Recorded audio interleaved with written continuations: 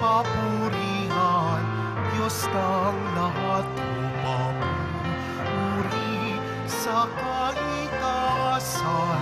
Siya'y papurihan ngayon at magpakailanman.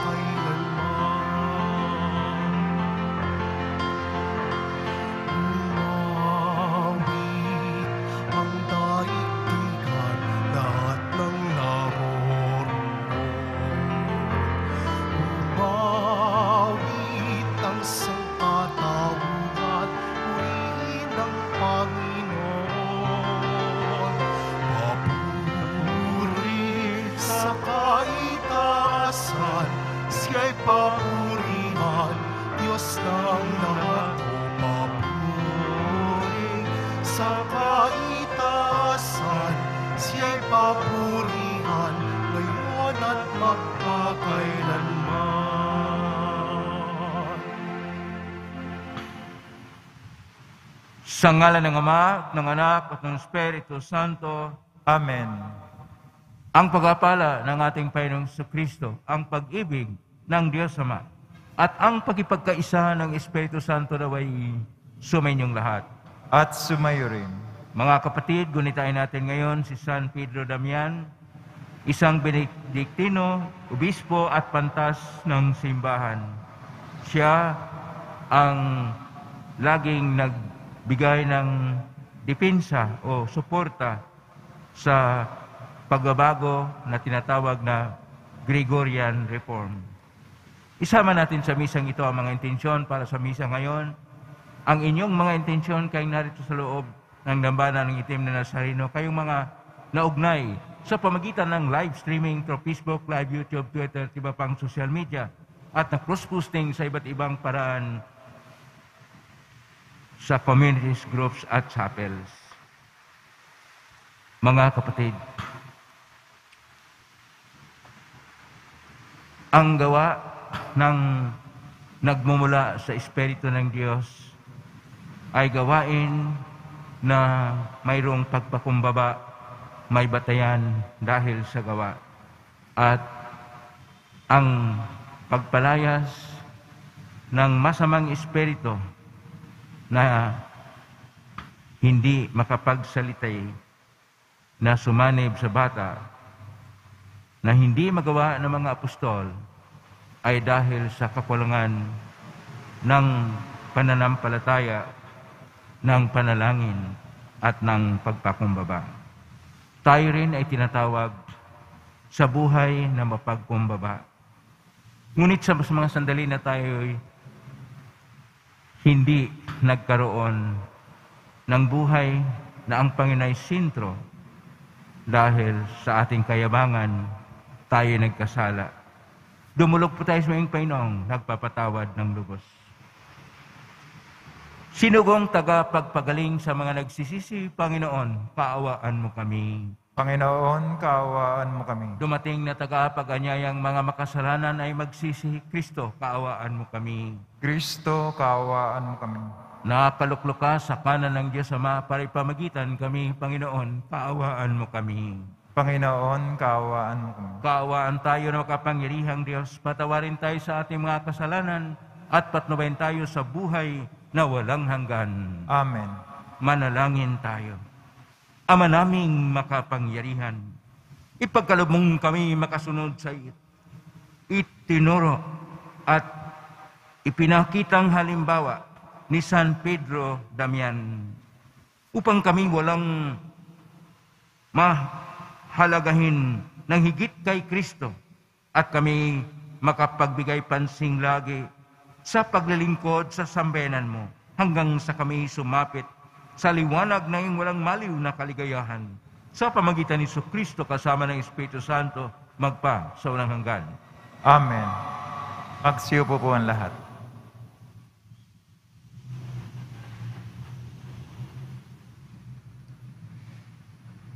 Pagbasa mula sa sulat ni Apostol San Pablo. Mga minamahal, sino sa inyo ang marunong at nakakaunawa?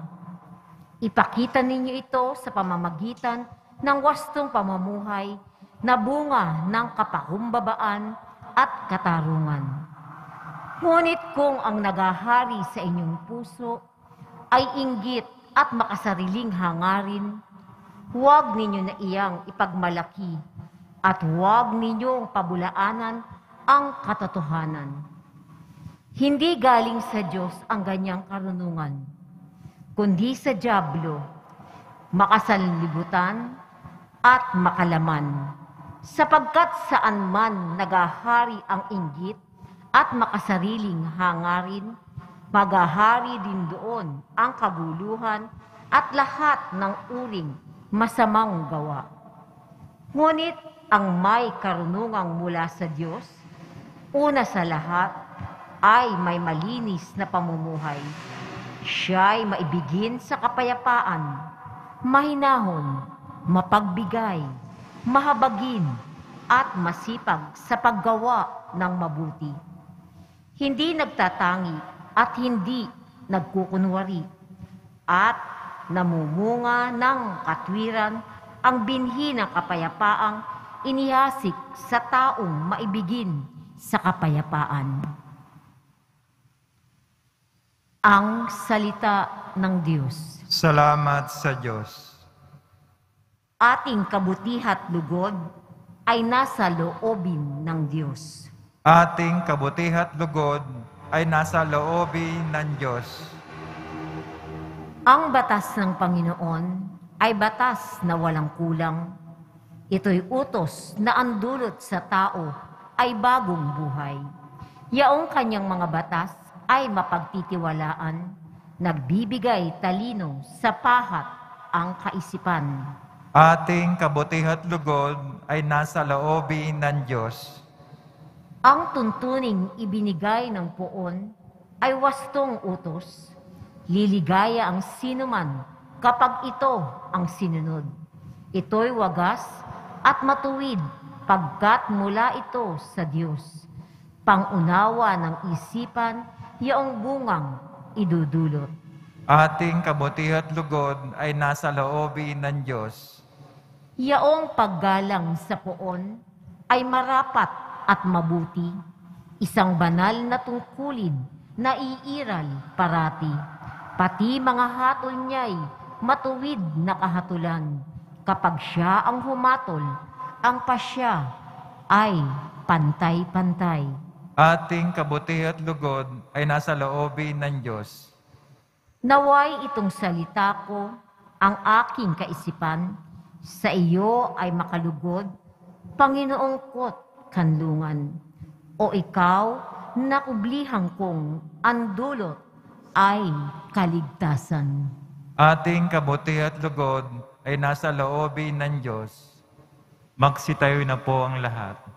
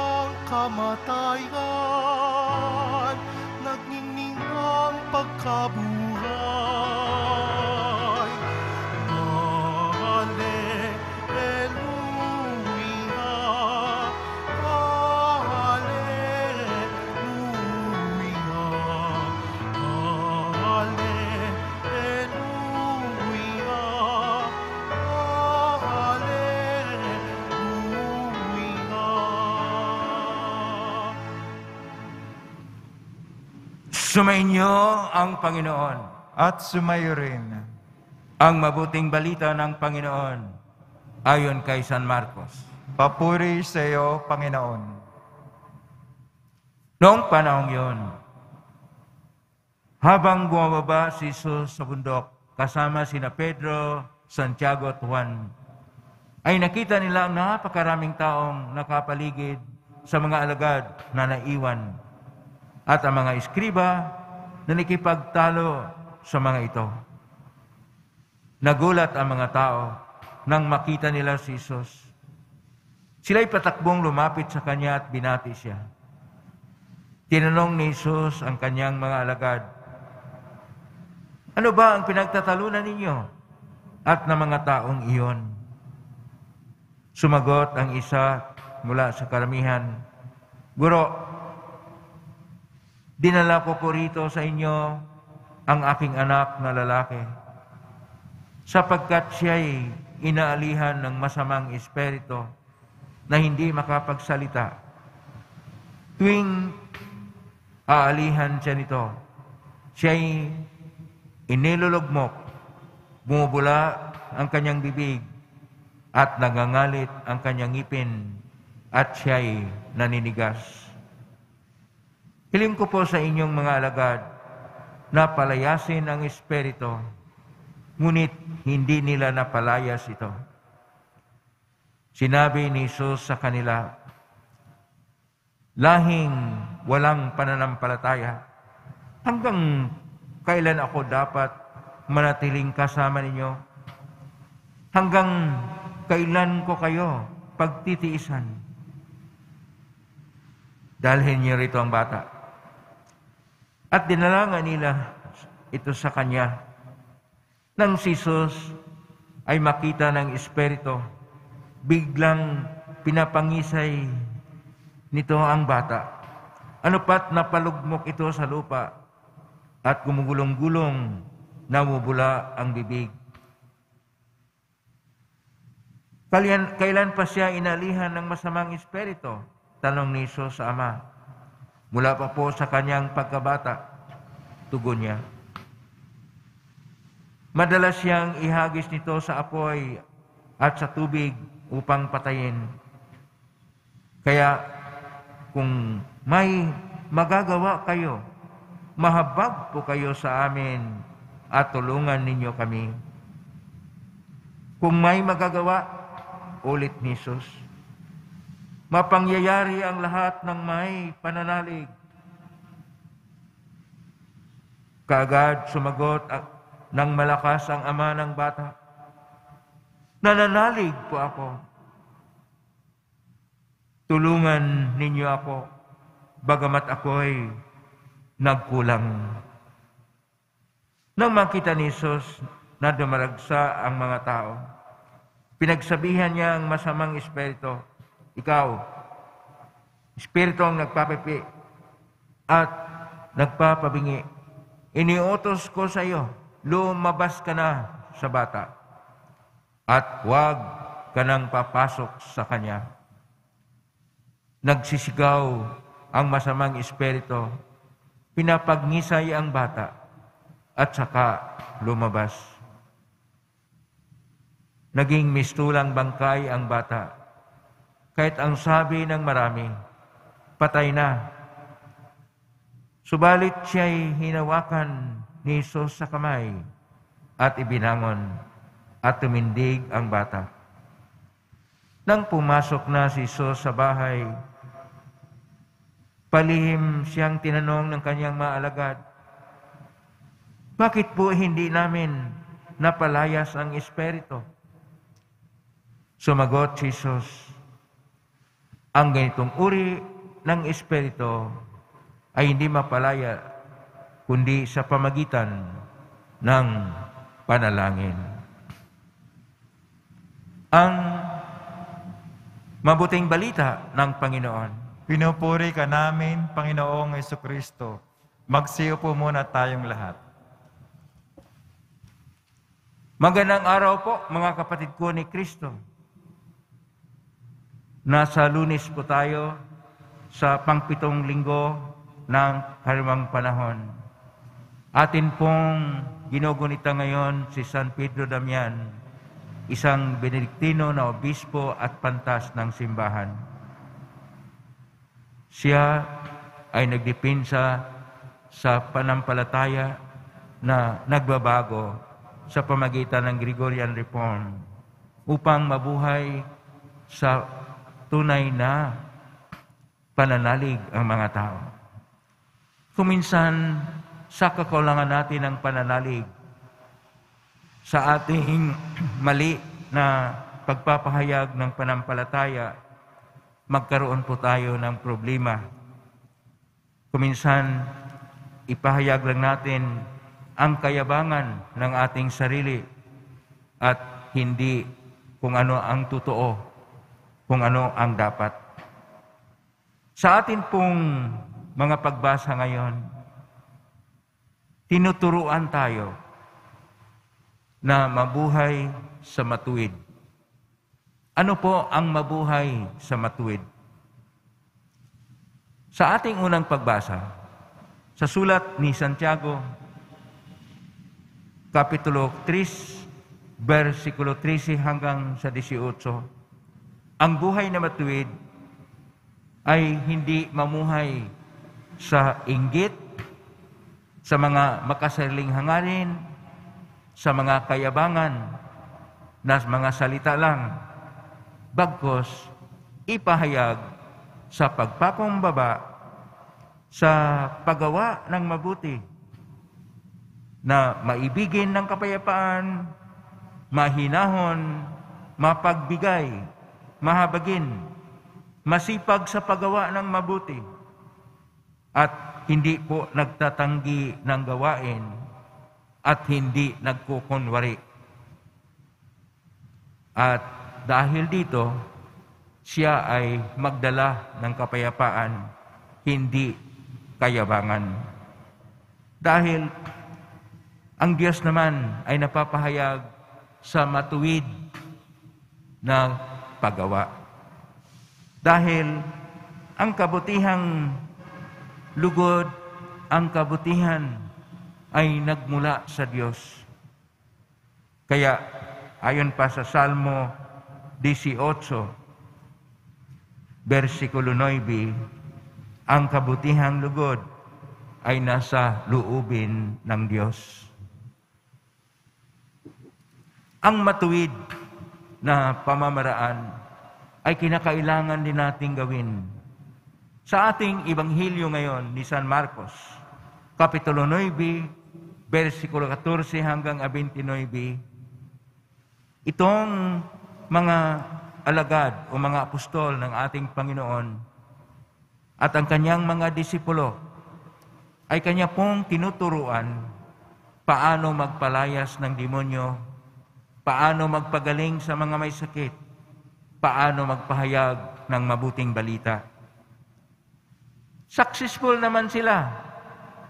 Kaya nga, sa Ebanghelyo ni San Marcos, Kapitulo 6, versikulo 7 at 10, umuwi ang mga alagad ng Panginoon tuwang-tuwa sapagkat napalayas nila ang masamang espiritu. Tuwang-tuwa sapagkat napagaling nila ang may sakit. Tuwang-tuwa sapagkat naituro nila ang Ibanghilyo sa kanilang kapwa. Pero ngayon sa ating Ibanghilyo ni San Marcos, Kapitulo 9, versikulo 14 hanggang 29, hindi nila napalayas ang masamang espiritu sa isang epileptic.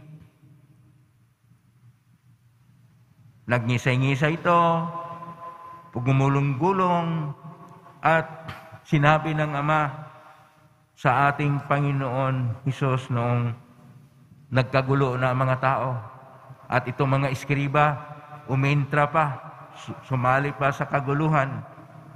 At ang sabi ng Ama na hiningi niya ang tulong ng mga alagad, ngunit hindi napalayas ang Espiritu.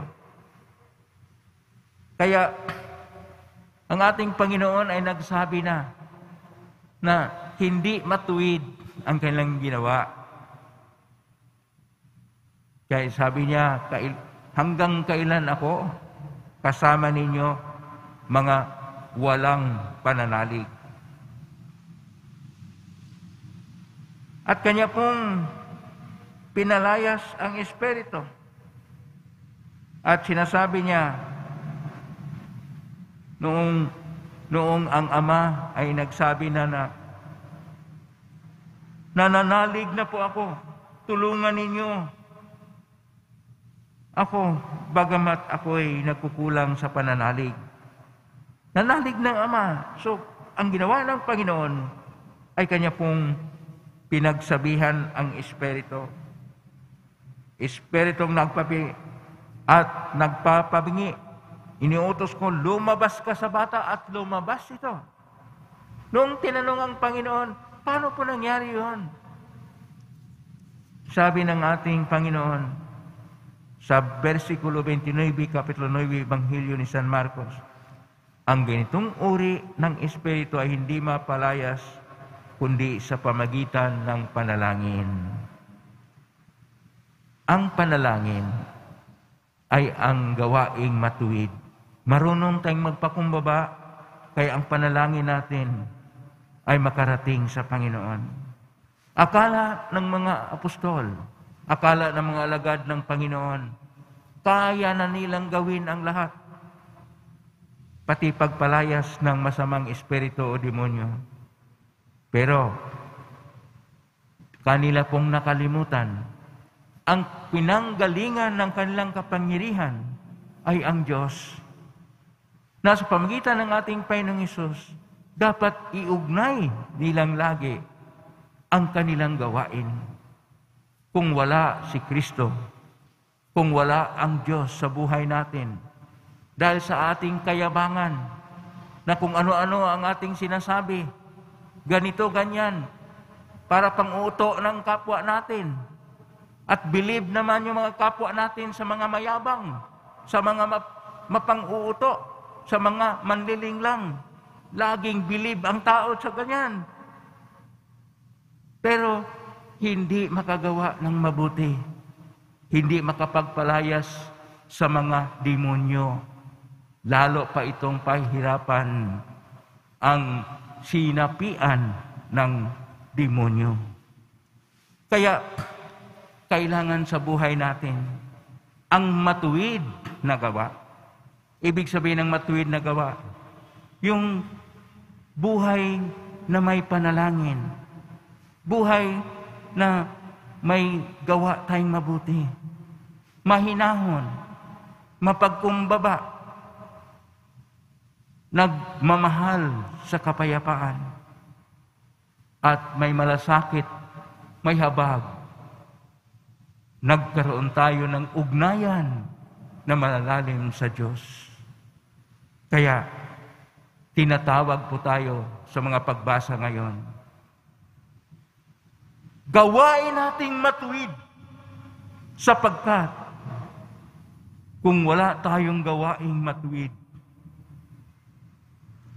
at yabang lang ang umiira sa buhay, hindi tayo magkaroon ng buhay ayon sa kaluuban ng Diyos.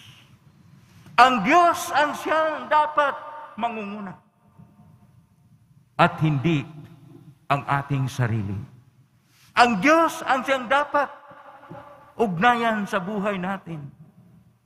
Hindi ang kayamanan, kapangyarihan at katanyagan. Ang Diyos ang siyang dapat ang pumapanginoon upang matanggal na ang ating mga pagkukunwari, mga kayabangan at mga kamalian. Kailangan natin na mabuhay sa matuwid.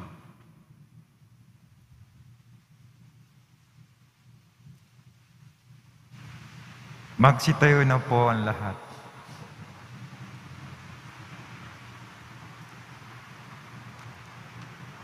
Minamahal kong mga kapatid, sa pamagitan ng Ebanghelyo, nagsasalita si Kristo ng may walang hanggang kapangyarihan at kumikilos sa kanyang mapagpalang mga gawa.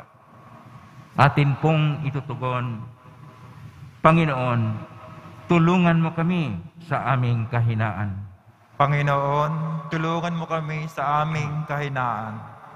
ang simbahan naway patuloy na magturo ng katotohanan ni Kristo at labanan ang kasamaan sa ating panahon.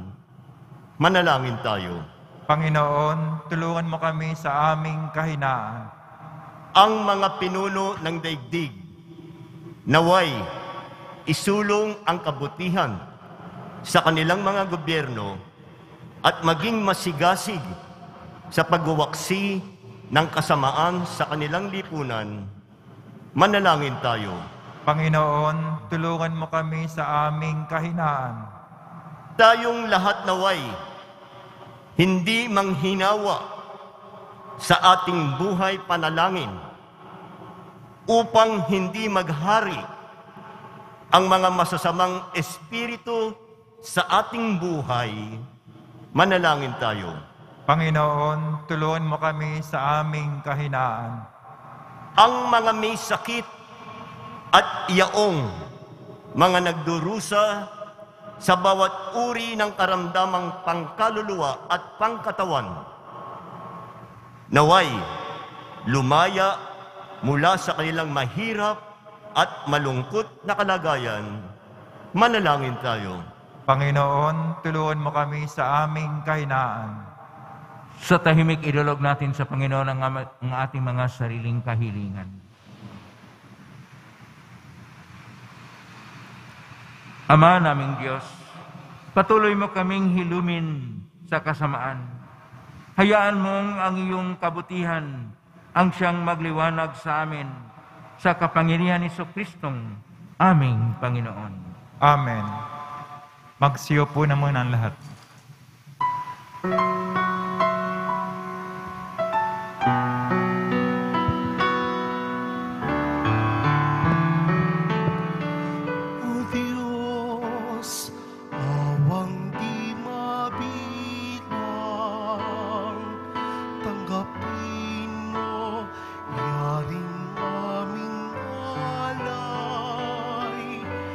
Gawin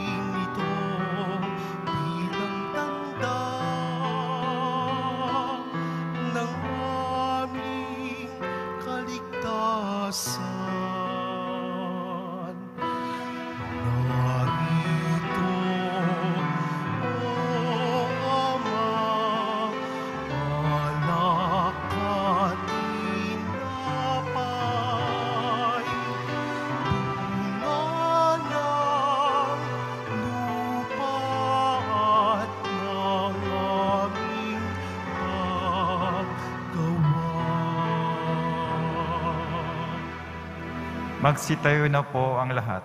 Manalangin niyo kapatid upang ang paghain natin ay kalugdan ng Diyos amang makapangyarihan. Tanggapin nawa ng Panginoon itong paghahain sa iyong mga kamay sa kapurihan niya at karangalan sa ating kapakinabangan at sa buong sambayan ng banal.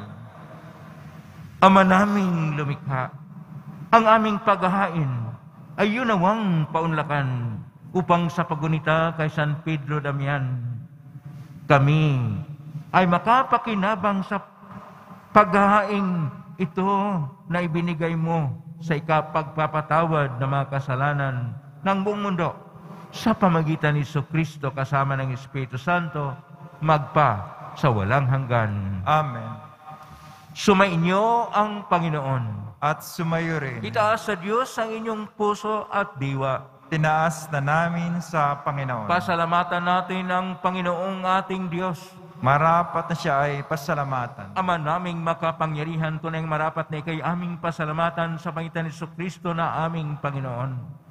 Ngayong si San Pedro Damian ay pinarangalan sa pamumuhay niyang totoong uliran at pagiging maasahan sa panungkulan kay Jesu Kristo na maasahan sa katapatan ay nihayag sa pangasiwa sa sambayanan. Ang malasakit na mga ulirang tagapangasiwa noon ay nagpapatuloy magpahanggang ngayon sa panlangin kalang iniukol kaysa nang sa mga dito'y nagtitipon. Kaya kaisa ng anghel na sisiyawit ng papuri sa mumpay sa kalangitan, kami nagbubunyi sa iyong kadakilaan. Santo, Santo, Santo, Panginoon Diyos na mga hukbo, napupuno ang langit at lupa ng kadakilaan mo, o sana sa kaitasan. Pinagpala na paririto sa ngalan ng Panginoon, o sana sa kaitasan. Magsilod po ang lahat. Ama naming banal, ikaw ang bukal ng tanang kabanalan. Kay sumitan niyong Espiritu kayong banal ang mga kaloob na ito upang para sa aming maging katawan at dugo ng aming Panginoong Kristo. Bago niya pinagtiisang kusang loob na maging handog. Hinawakan niya ang tinapay. Pinasalamatan kanya. Pinagati-hati niya yon. Iniabot sa kanyang malagad at sinabi, Tanggapin ninyong lahat ito at kanin. Ito ang aking katawan na ihandog para sa inyo.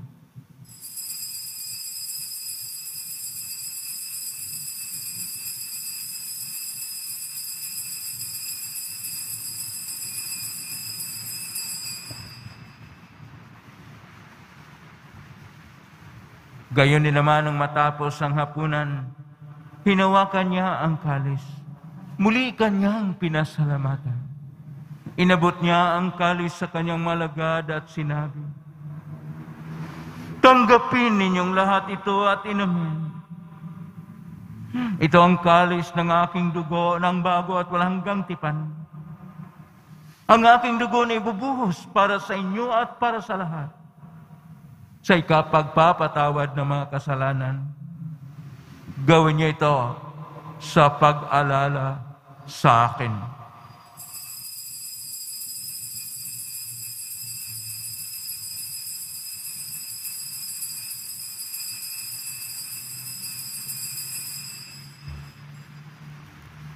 Magsitayo na po ang lahat.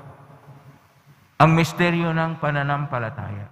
Si Kristo'y namatay, si Kristo'y nabuhay, si Kristo'y babalik sa wakas ng panahon. Ama, ginagawa namin ngayon ang pag-alala sa pagkamatay at muling pagkabuhay ng anak. At iniaalay namin sa iyo ang tinapay na nagbibigay buhay at ang kalis na nagkakaloob ng kaligtasan. Kami nagpapasalamat dahil kami minarapat na tumayo sa harap mo para maglingkod sa iyo. Isinasamo namin kaming magsasalo-salo sa katawan at dugo ni Kristo ay mabuklod sa pagkaisa sa pamagitan ng Espiritu Santo. Ama, lingapin mong simbahang laganap sa buong daigdig. Pususin mo kami sa pag-ibig kaisa ni Francisco na aming Papa. Ni Jose na aming obispo at ng tanang kaparian.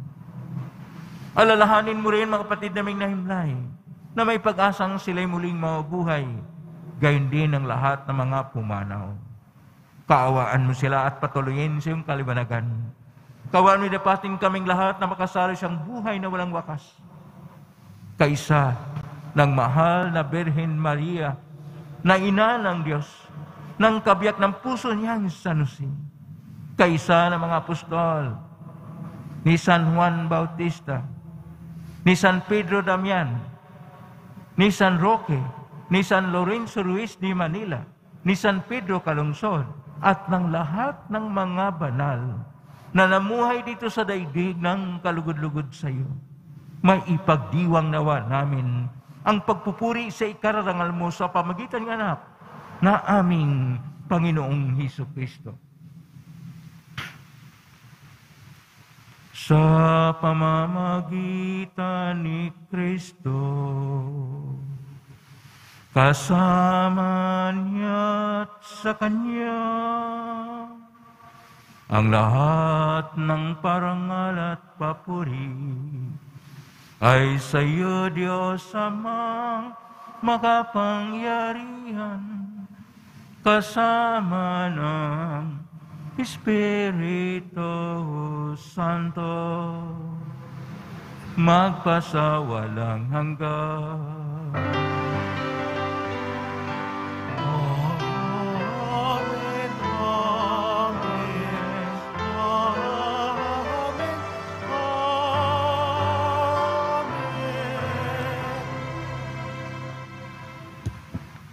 Sa tagubilin na magaling na utos at turo ni Jesus na pay natin at Diyos ipahayag natin ang lakas loob. Ama Ama namin, sumasalangit ka, sambahin ang ngalan mo, mapasa amin ang kaharian mo, sundin ang loob mo dito sa lupa para nan sa langit. Bigyan mo kami ngayon ng aming kakanin sa araw-araw, at patawarin mo kami sa aming mga sala, para ng pagkapatawad namin sa nagkakasala sa amin. At huwag mo kaming paintulot sa tukso at yadya mo kami sa lahat ng masama. Hinihiling namin kami iadya sa lahat ng masama. Pagkalooban ng kapayapaan na araw-araw. Iligtas sa kasalanan at sa lahat ng kapahamakan. Samantalang aming pinanabikan ang dakilang araw ng pagpapahayag ng tagapagligtas naming si Hesus Kristo. Sapagkat iyong karyaan at ang kapangyari at kapurihan magpakailanman. Amen. Panginoong Iso Kristo, sinasabi mo sa mga apostol, kapayapaan ang iniiwan ko sa inyo, ang aking kapayapaan ay binibigay ko sa inyo. Tunghayan mo ang aming panampalataya at huwag ang aming pagkakasala. Pagkaluban mo kami ng kapayapaan at pagkakaisa, ayon siyang kaluuban, kasama ng Espiritu Santo magpa sa walang hanggan. Amen. Ang kapayapaan ng Panginoon ay laging sumainyo. At sumayo rin. Magbigayin kayo ng kapayapaan sa isa't isa. Kapayapaan sa inyo. lahat. Cordero ng Diyos na nagalis ng mga kasalanan sa libutan, maawa ka sa amin. Cordero ng Diyos na nagalis ng mga kasalanan sa libutan, maawa ka sa amin. Cordero ng Diyos na nagalis ng mga kasalanan sa libutan, ipagkaloob mo sa amin ang kapayapaan. Magsilod po ang lahat.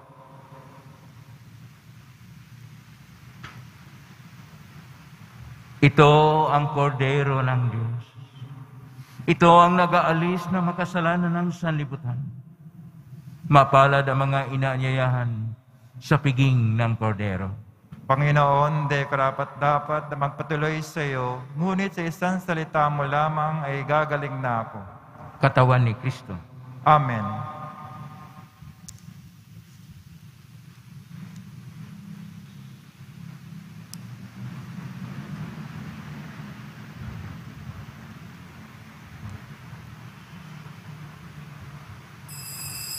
Para sa lahat ng tatanggap ng banal na komunyon, manatili lamang po kayo sa inyong pwesto o kinauupuan. Huwag na po kayong aalis o lilipat ng lugar. Ang pari at mga lay ministers po ang mag-aabot sa inyo ng komunyon upang maiwasan ang iyong pagdikit-dikit. Sumunod po tayo. Maraming salamat po. You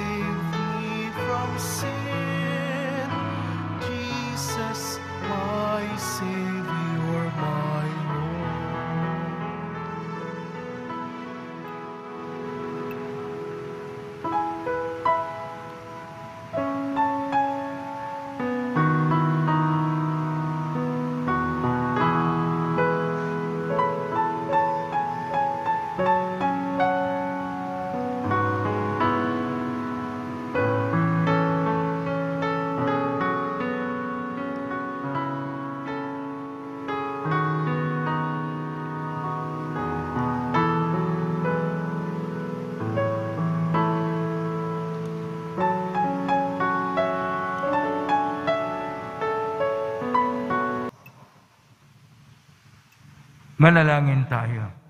Magsitayo na po ang lahat. Ama naming mapagmahal, ang lakas na dulot ng banal na pakikinabang ngayong ginogunita si San Pedro Damian ay maging lubos nawa sa amin upang ito ay makatulong sa pamuhay namin ngayon at makapagpagalak sa amin habang panahon sa pamagitan ni Kristo kasama ng Espiritu Santo magpa sa walang hanggan. Amen. Panalangin kay San Roque. O pinagpalang San Roque Pentacasi na may mga karamdaman, lingapin po ang aming kapatid na sa banig ng karamdaman. Ang iyong pamagitan ay sadyang makapangikay na rito pa sa daigdig. Maraming gumaling dahil sa pagkakantanda mo sa kalang mahalang cross. Nagkailulhati na dyan sa langit. Nalik ko yung pagitan ay lubhang magaling. Ialay mo po sa maing Diyos, yaring mahinaing sa tulong po ninyo, ay makamit ang kagalingan naming kaluluwa at katawan. Pakundangan sa mahirap at sakit ng Panginoon sa Kristo Diyo pong mga panalangin. Amen. Senyor San Roque, ipalangin mo po kami upang kami adya sa salot ng COVID-19 sa makaramdaman ng katawan at kaluluwa. Senyor San Roque, ipalangin mo po kami upang kami adya sa salot ng COVID-19 sa karamdaman ng katawan at kaluluwa. Senyor San Roque, ipalangin mo po kami upang kami adya sa salot ng COVID-19 at sa makaramdaman ng katawan at kaluluwa. Maraming salamat po sa inyong pakilahok ngayon sa ating Eucharistia o Banal na Misa sa pamagitan ng inyong pagsimba dito sa ating dambana ng itim na Nazareno, sa pamagitan ng live streaming sa iba't ibang social media at na cross-posting sa iba't ibang paraan.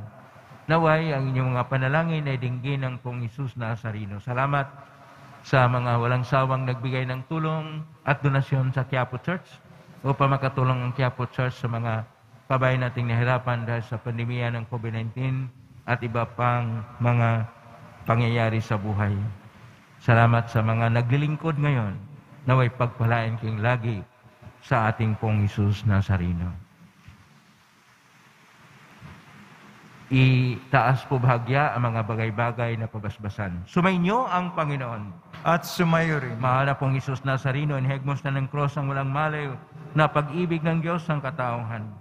Pakinggan mong kilingan ng kanan nagsusumamo sa iyo. Makamtanaw nila ang katugunan na tanggapin ang kasagutan ng mitang na loob na tinatanaw. Basbasan di po ninyo ang mga dalang mga imahin at dasalan. Sa pamagitan ng benisyon nito naway, malalang pangako ng sa binyag na ikaw ay ng ibigin at paglilingkuran bilang Panginoon magpa sa walang hanggan. Amen. Pagpalain kayo ng makapangyarihang Diyos, Ama at Anak at Espiritu Santo. Amen. Umay kang taglayang paypaan, pag-ibig at pag-asa ng Pong Isus Nazareno. Salamat sa Diyos. Purihin natin ang Pong Isus Nazareno.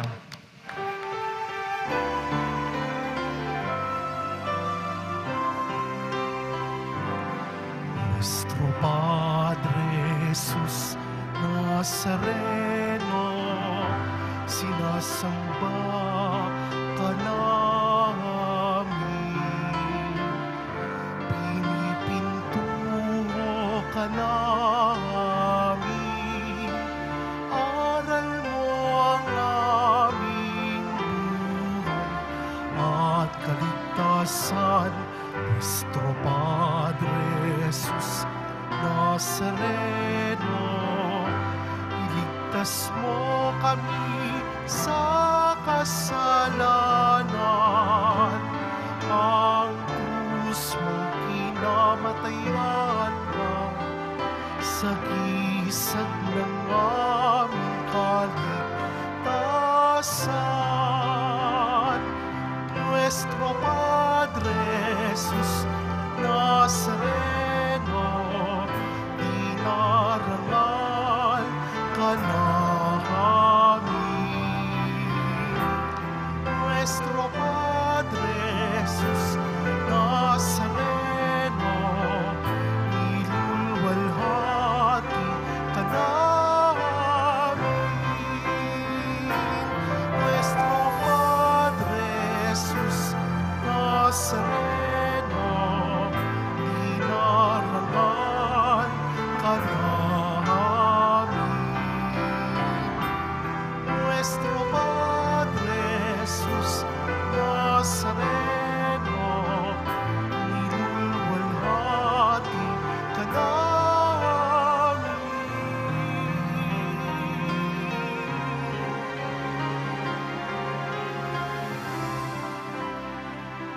Magsiupo muna tayong lahat.